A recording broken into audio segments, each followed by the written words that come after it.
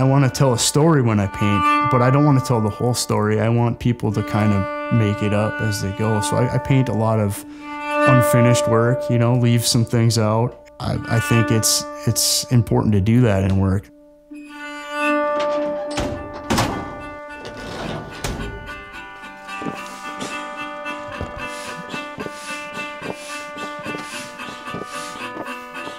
Tim Pearson, um, professional firefighter, EMT, uh, full-time artist, full-time father, side hustle carpenter, and seasonal fishing guide.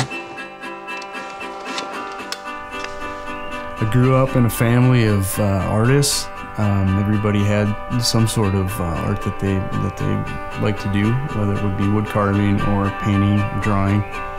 They kind of shaped who I was. You know, I was out in the woods a lot, um, fishing, hunting, chasing brook trout and in the brush. You know, I miss miss those days riding bikes around with the with our rods strapped to the bike. There, there was a time in high school that I got away from from art and and the outdoors a little bit, and I, I call those the lost years.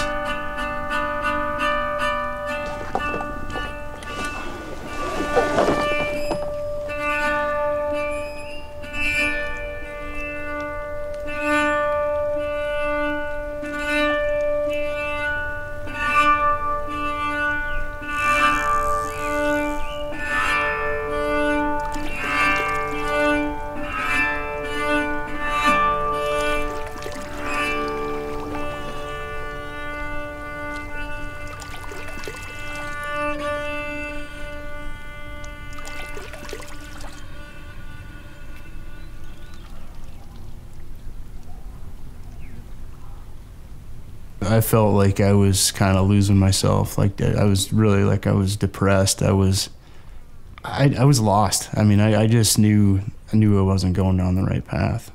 I was I was going into the army. I ended up going into basic training, and when I was 19 years old, I got a fish hook in my right eye, and that's what got me out of the military. But it, I think it was a saving grace because after that happened, I got my orders to go to Afghanistan and Afghanistan was a complete mess. I mean, at the time, a fish hook in my eye was horrible. It was horrible.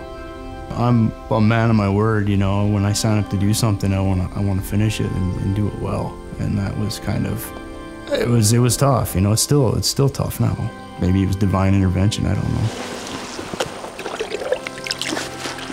I believe in energy. I believe in karma, and I there was a series of events, and, and the fishhook was the last thing that happened. Just I, I had other injuries before that. I was not myself. I was just the energy was bad. I just had I was not doing what I was supposed to be doing.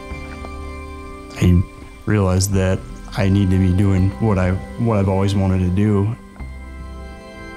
Art to me is anything that is able to bring out feelings that you can't really explain. When you see the work that goes into it. When you see brushstroke, when you see chisel marks, when you see the actual painter, I feel like that's real work. Fly fishing is an art. I think it there's it's no different than uh, paint and a brush. A person that's casting a fly rod is still telling a story, just like a painter, you know. And that's what I love about fly fishing. For me, as as an artist, it's my tool to get out and, and experience the world. I, I, I go to fish just to gain, it's like I gain reference for my paintings by fishing. I mean, it's, it's great. It's a great tool.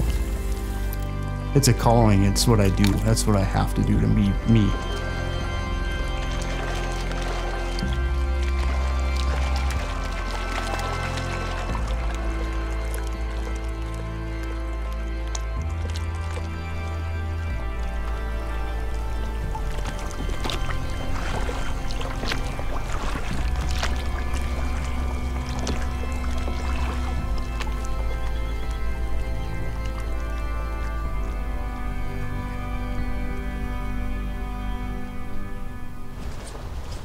I spent uh, a few summers working for the U.S. Geological Survey as a biologist or a biological technician.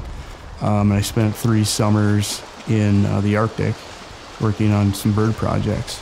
I was in these, these rugged landscapes around bears, around things that I wasn't in control of. and it made me feel so small and, and humble, and uh, just kind of got the uh, the fish bug up there, and became a guide. I guide, guided up there for seven years. I, I think everybody's trying to. This is this is not just this area. It's it's the it's the industry uh, worldwide. Everybody's trying to make a name for themselves, and I'd, I'd, be lying if I if I said I didn't want that when I was younger. I thought that was where I wanted to go as a guide, and wanted that's all I wanted to do. But now I don't. I think that uh, environmental advocacy and, and sustainability is where my focus is, and kids really. I, I'm excited that for my daughter to get into fishing. I, I love watching kids fish. She's already painting water, watercolor. I've had her paint watercolor since she was a few months old, just having the brush, and I just that's that's my goal is to raise her like that. Never miss your water till your well runs dry. Never miss your little mama till she says bye bye. I woke up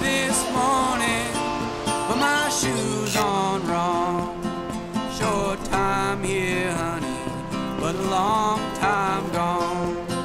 Take me back, good woman, try me one more time. That I don't a situation, send me down the line.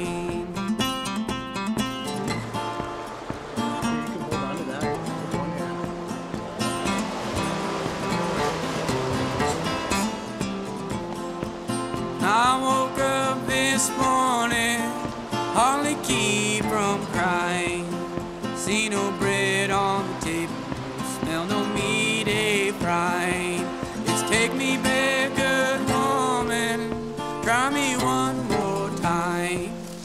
I had an epiphany one day. It's like, why am I trying to go down this path when I could, when I was happy when I was 12 or 13? You know, that was the, the best time of my life. So um, I'm back. I'm back to that. You know, that's what I've been doing since I had that moment.